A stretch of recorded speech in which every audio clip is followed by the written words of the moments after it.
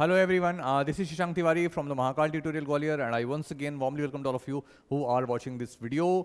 और आप सभी को पहले दशहरे की हार्दिक शुभकामनाएँ। ठीक है? और उसके बाद में हम लोग करेंगे हमारा जो ग्लिम्स ऑफ़ इंडिया चैप्टर चल रहा था क्लास टेंथ का फ़र्स्ट फ़्लाइट बुक में से चैप्टर नंबर सेवन उसका पार्ट थर्ड हम लोग आज कवर करने वाले हैं टी फ्रॉम आसाम ठीक है? तो ज़्यादा टाइम वेस्ट नहीं करेंगे शुरू करते हैं हमारा आज का लेक्चर ठीक है?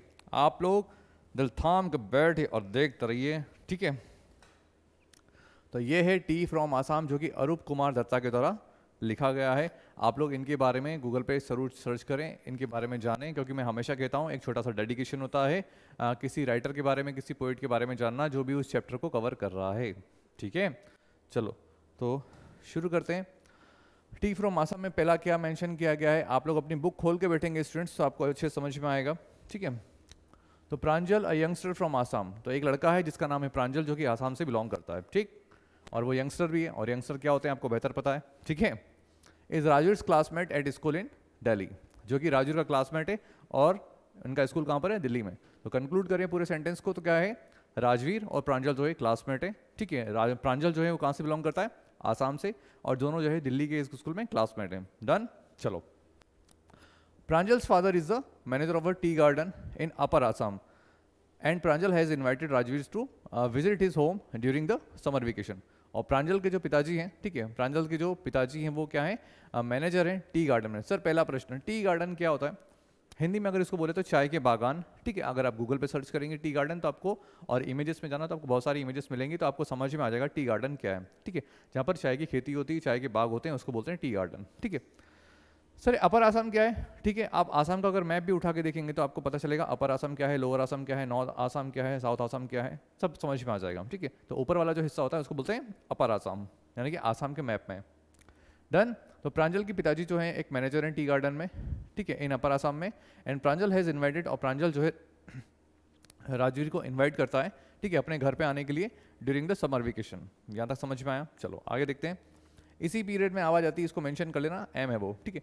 चाय गरम चाय गरम, चाय, अ वेंडर ठीक है। Called out in high paced voice vendor मतलब क्या होता है? सेलर यानी कि कुछ भी चीज़ बेचने वाला। इसलिए सेलर यहाँ पर वेंडर है हमारा, चाय बेचने वाला, ठीक है। तो तभी आवाज़ आती है, चाय गरम चाय गरम, ठीक है, और हाई पिच वॉइस यानी कि समटाइम्स देखो आप ऐसे महसूस करो, कभी आप ट्रेन में सफ़र कर रहे हैं और पीछे से आवाज़ आती है, चाय चाय चाय, कुछ इस तरीके से तो वो क्या है? वेंडर है जो उसकी आप, अपना वर्क कर रहा है चाय बेचने वाला तो उसको आवाज़ निकालना पड़ता है ताकि उसकी आवाज़ जो है लोगों तक पहुँचे और फिर लोग उसको चाय उसकी चाय को ऑर्डर करें। ठीक है? तो आई होप यहाँ तक समझ में आ गया। चलो आगे देखते हैं। He came up to their windows and आस चाय साहब अब ये वेंडर है हमारा ठीक है? ट्रेन जो स्टेशन पर खड़ी हुई फिर ये खिड़की के पास में आएगा और पूछेगा आपसे चाय लेंगे साहब? हाँ। आप क्या होता है? Give us two cups Pranjal said Pranjal जो कि आसाम से बिलोंग करता था वो क्या कहता है? गिव अस टू कप हाँ हमें दो कप चाय दे दीजिए।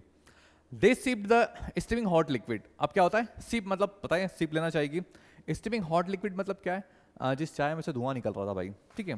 तो वो चाय पी रहे थे और स्टीमिंग हॉट लिक्विड लिक्विड क्या बताइए आपको चाय? तो धुआँ निकलती हुई चाय वो लोग पी रहे थे। डन तो दे सिप यानी कि पास सिंपल का टेंस से डी लगाए। तो फिर उन्होंने क्या करा? सिप लेते हुए वो चाय P. Almost everyone in their compartment was drinking too too अगर देखा जाए तो जिस कंपार्टमेंट में प्रांजल और राजवीर बैठे हुए थे, उस कंपार्टमेंट में हर व्यक्ति जो है लगभग चाय पी रहा था। डन चलो नेक्स्ट बात करते हैं। Do you know that every Soram sorry sorry sorry do you know that over 80 crore cups of tea are drunk every day थोड़ा सा मैं एक्सप्लेन कर देता हूँ इसको। अब देखो ट्रेन का सीन है, ये दोनों बंदे हमारे बैठे हुए हैं। एक प्रांजल, एक राजवीर, आप एडजस्ट कर लेना किसको राजवीर बनाना चाह रहे हैं, किसको प्रांजल बनाना चाह रहे हैं। तो do you know that over 80 crore cups of tea are drunk every day throughout the world Rajvir said अब राजवीर बोलता है कि तुम्हें पता है, प्रांजल की पूरे वर्ल्ड में 80 करोड़ कप जो है पर डे चाय की पिए जाते हैं, ठीक है?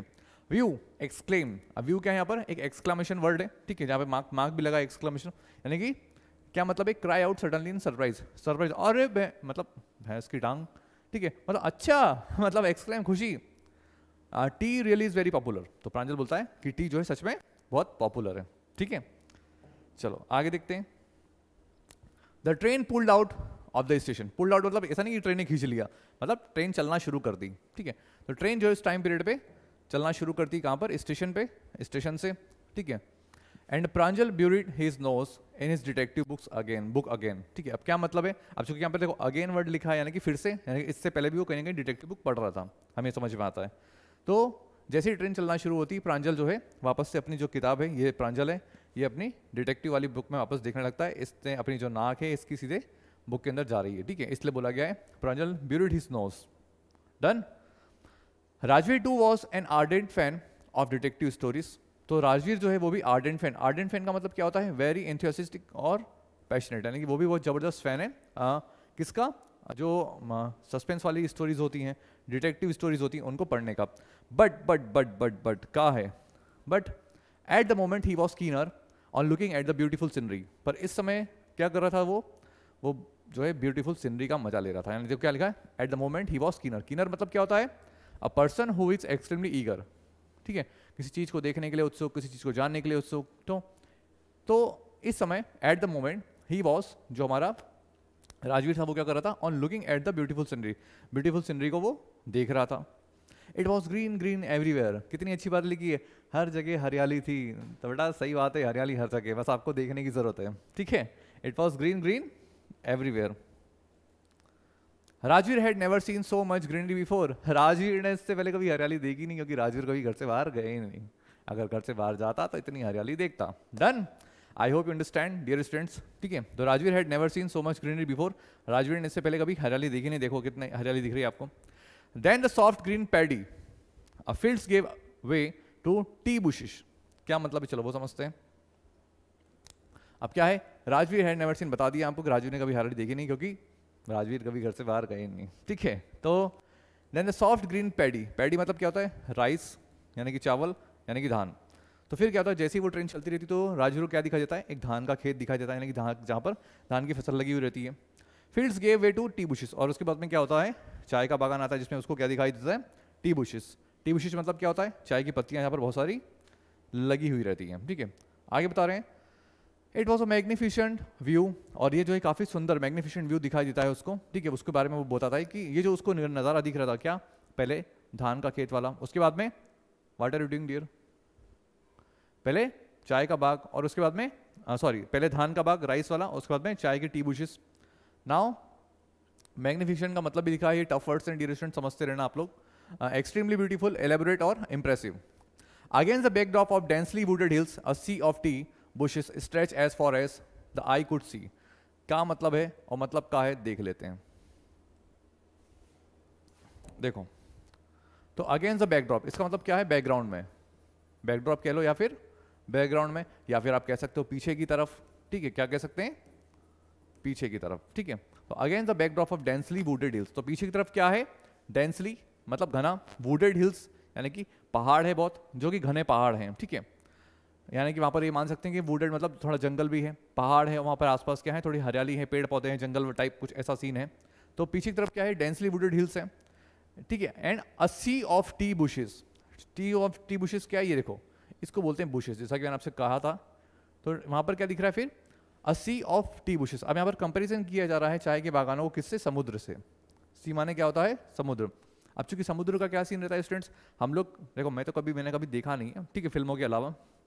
लेकिन हम समुद्र में जब भी, जहाँ तक देख सकते हैं हमें, वहाँ तक पानी ही पानी नज़र आता है। तो यहाँ पर किससे कंपेयर किया गया चाय के बागान को? सी से। तो डेंसली वुडेड हिल्स के वहाँ पर पीछे में क्या देखने को मिलता है? मतलब पीछे की साइड तो हमारा क्या है? वुडेड हिल्स है और उसके बाद में एक हमें हरियाली देखने को मिलेगी, ठीक है? उसके बाद में सी ऑफ़ टी बुशेस जैसा कि हमें सी ऑफ़ टी बुशेस दिख रहा है stretch as far as the eye could see यानी कि जहाँ तक हमारी आँखें देख सकती थी वहाँ तक हमें क्या नज़र आ रहे हैं? टी बुशेस यानी कि चाय के बागान वगैरह देखने को मिल रहे हैं। डन चलो।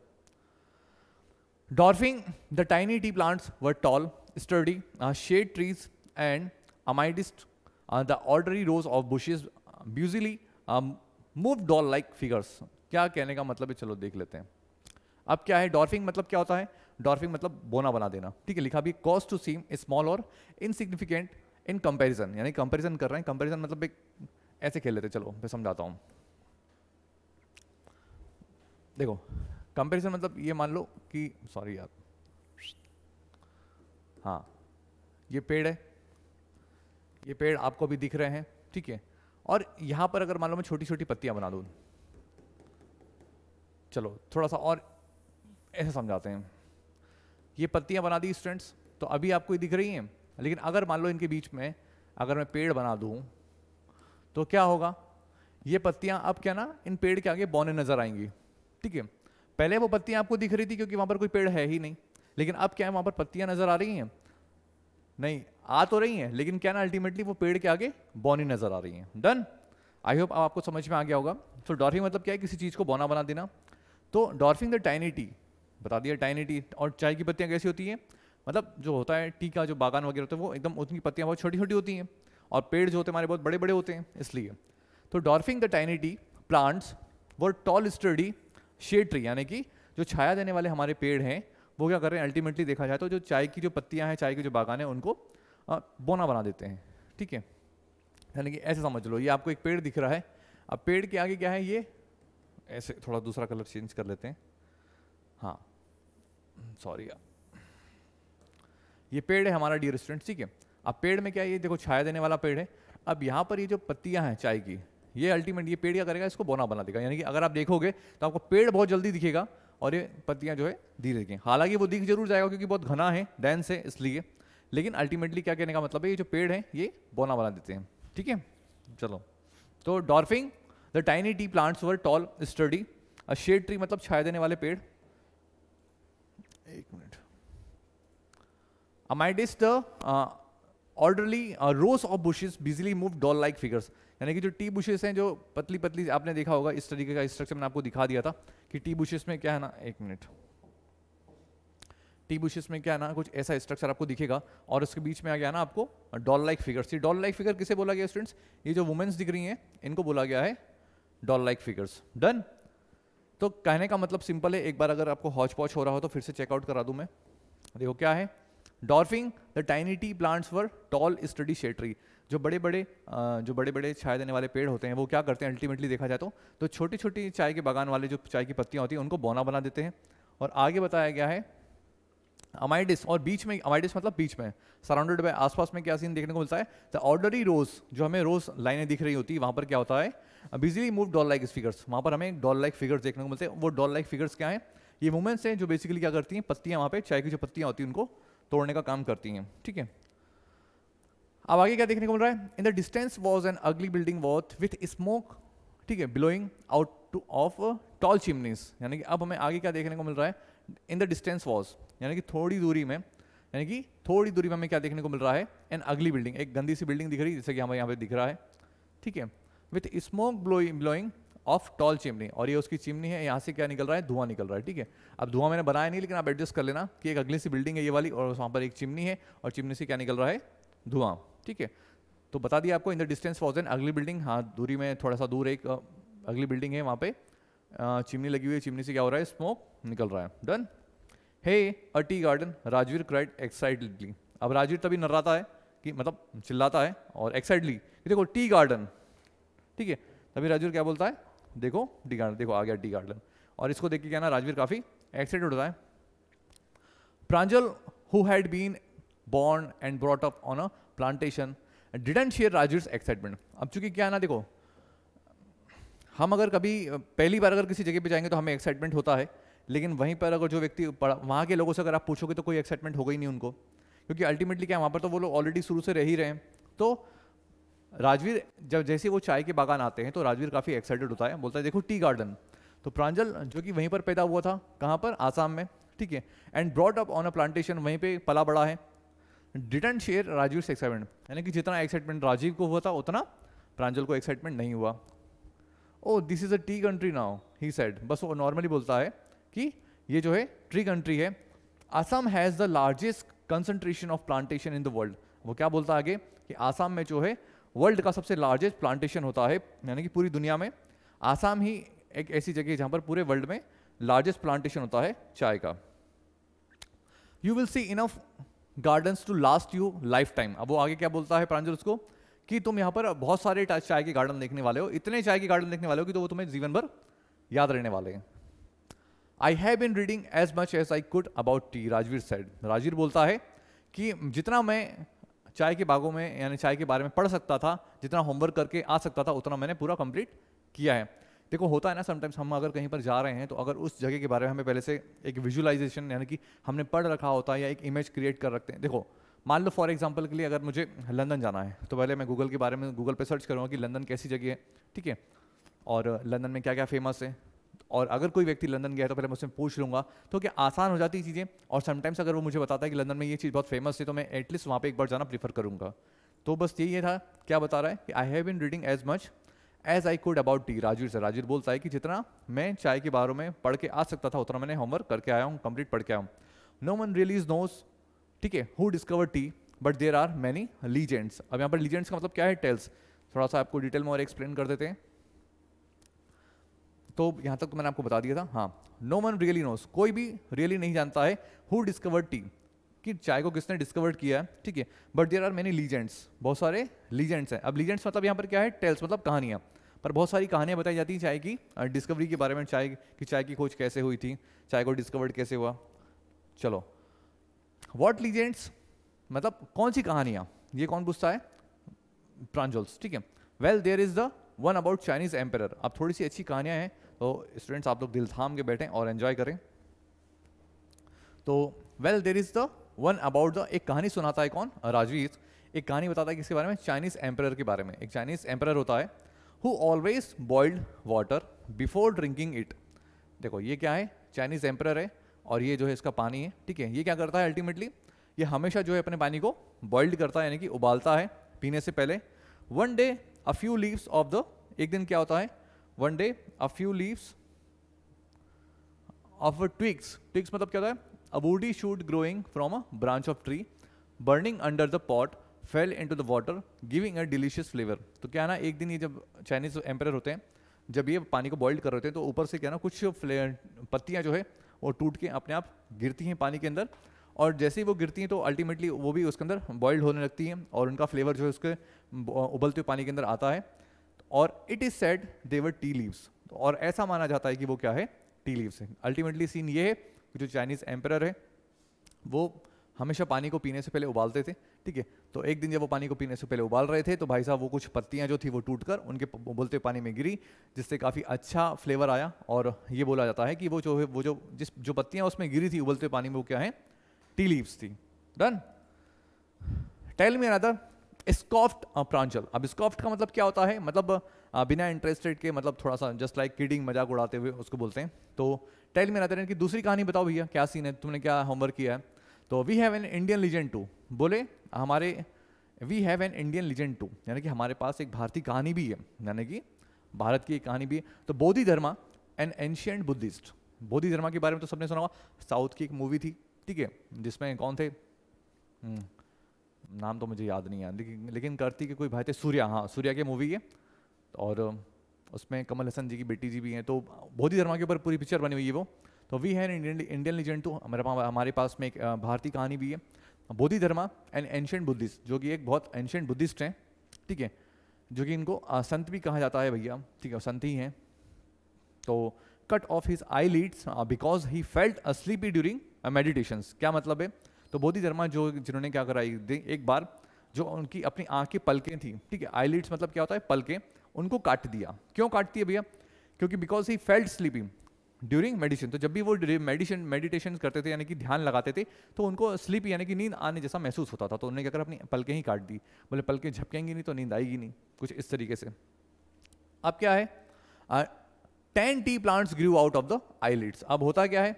जो पलकें उन्होंने काट के फेंकी थी ठीक है वहाँ पर क्या था? Ten tea plants grew out of the eyelids तो वो आईलिड्स में जहाँ पर ज़मीन पे गिरी, वहाँ पर टेन टी प्लांट्स ग्रो हो गए भैया। The leaves of this plants when put into hot water and drunk banished sleep और जब क्या है? The leaves of this plants उस प्लांट्स की जो पत्तियाँ थी, उसको हम लोग जब हॉट वाटर यानी गर्म पानी में जब डालते थे और जब पीते थे तो बैनिश मतलब क्या है? Get rid of something unwanted यानी कि अगर आपको कुछ काम नींद आ रही है तो आपकी नींद भाग जाएगी, आलस आ रहा है तो आलस भाग जाएगा। ठीक है तो अल्टीमेटली क्या है? नींद आपकी भगा देती थी तो यहाँ पर क्या है, देखो, उबलते हुए पानी में अगर हमने डाल दी पत्तियाँ तो आपकी, और जब आप इस पानी को पियोगे तो आपको क्या है, आपकी नींद भाग जाएगी। डन चलो।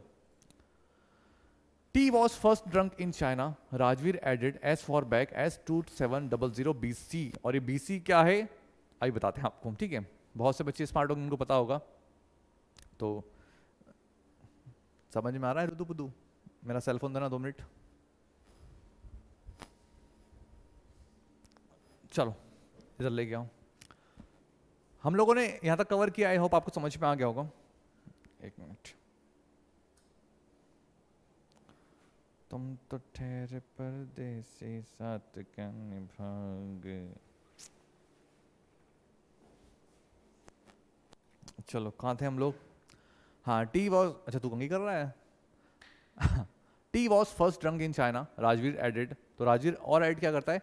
टी जो है सबसे पहले कहाँ पर? चाइना में पी गई थी, भैया। कब? As far back as two seven double zero B C अभी बी सी और ए डी का क्या कॉन्सेप्ट है? ड्यूरेशन में आपको समझा दूँगा, पर एक बार इस स्लाइड को कंप्लीट कर लेते हैं, ठीक है? तो सबसे पहले चाय कहाँ पर पी गई थी? चाइना में राजवीर बताता है। और कब पी गई थी? Two seven double zero B C में। In fact world words such as tea अगर बात करें, वो बोलता है कि इनफैक्ट अगर बात करूँ मैं टी के बारे में ठीक, कुछ वर्ड बताएँ यहाँ पर। टी, चाय, चीनी। आर फ्रॉम चाइनीज़ ये कौन से वर्ड हैं? चाइनीज़ वर्ड है। कि हम तो चीनी वर्ड बोलते हैं, चाय बोलते हैं, टी बोलते हैं, सब क्या है? चाइनीज़ वर्ड है। Tea came to Europe only in the sixteen century अब वो चाय जो है बेसिकली यूरोप में कब आई थी डियर स्टूडेंट्स वो सिक्सटीन सेंचुरी में आई थी। And was drunk more as medicine than as beverage beverage क्या है? A drink other than water यानी कि बीवरेज बेसिकली जो लिक्विड होता है, जिसको हम पीने के लिए यूज़ करते हैं, उसको, उसके लिए वर्ड यूज़ किया गया बीवरेज अब कहने का मतलब क्या वो समझते हैं?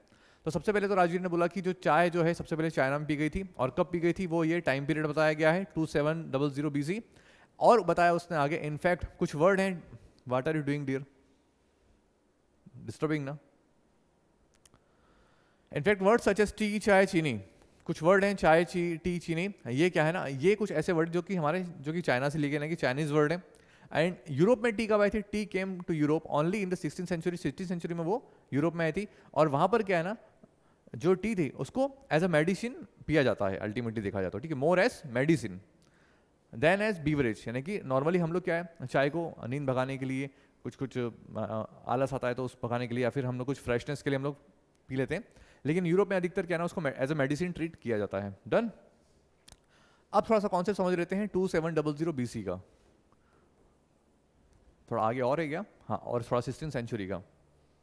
तो देखो, पहले समझ लो सिक्सटीन सेंचुरी का पीरियड क्या है। मैंने एसएसटी में जो फ्रेंच रिवोल्यूशन कवर कराया था, उसमें भी बता दिया था क्या है, लेकिन फिर समझ लो एक बार। 1501 से लेकर डियर स्टूडेंट्स 1599 तक का जो पीरियड होता है, उसको हम क्या बोलते हैं? Sixteen century. ठीक है? तो याद रखना, अगर ये वो हो गया सिक्सटीन सेंचुरी तो 1501 से लेकर सॉरी 1600 तक का आएगा यहाँ पे। नहीं नहीं नहीं यार। थोड़ा सा कंफ्यूजन है।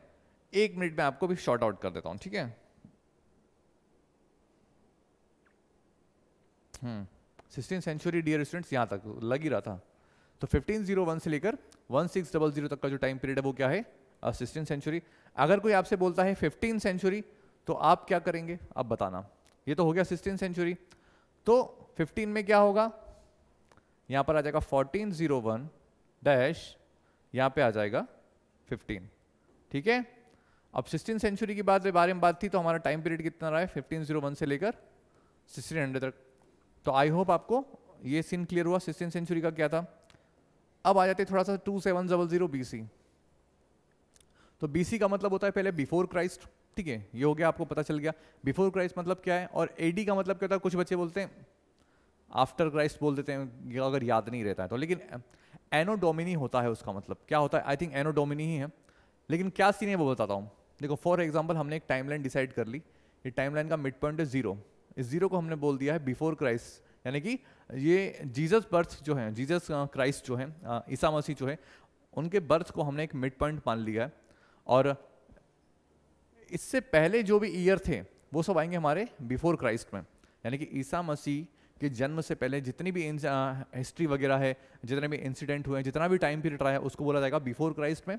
और ईसा मसीह के जन्म के बाद का जो टाइम पीरियड है, उसको बोला जाएगा एनोडोमिन यानी कि उसके बाद का टाइम पीरियड आएगा। यानी कि इधर अगर हम शुरू करें, एक बार फिर से देखते हैं इस टाइम लाइन को।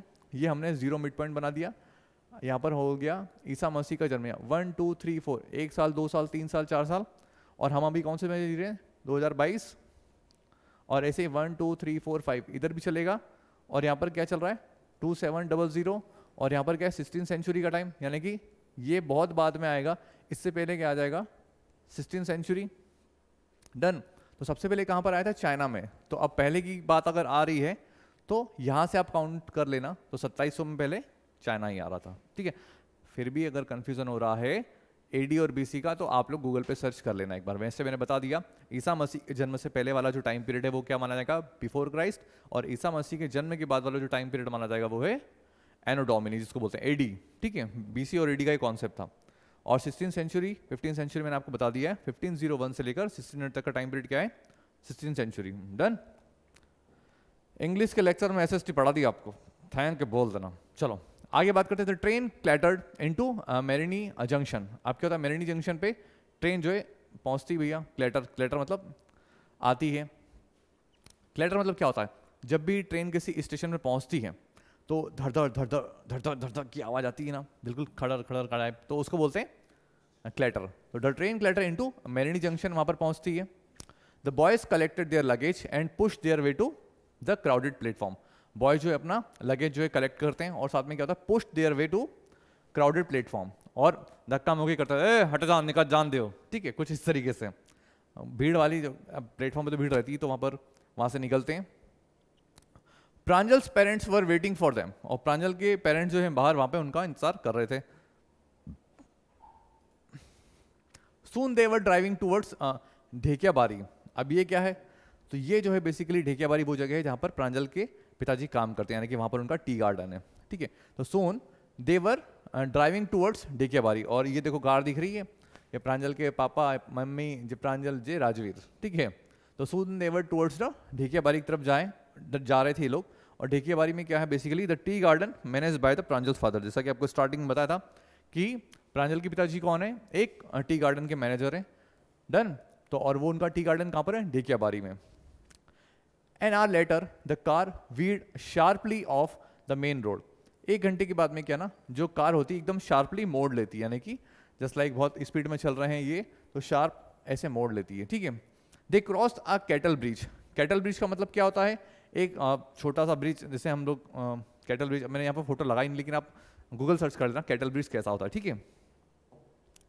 तो cattle bridge and enter Dhekiabari दो कैटल ब्रिज से होते हुए निकलते हैं और फिर कहाँ पर इंटर करते हैं? ढेकियाबारी में, जो कि क्या है बेसिकली एक टी स्टेट है। On both side of the gravel road gravel road मतलब क्या होता है? कच्चा रोड ठीक है? जैसा कि आपको यहाँ पर दिख भी रहा होगा। यहाँ दिखा देते हैं। देखो, ये क्या है basically the students colour change कर लेते हैं भैया।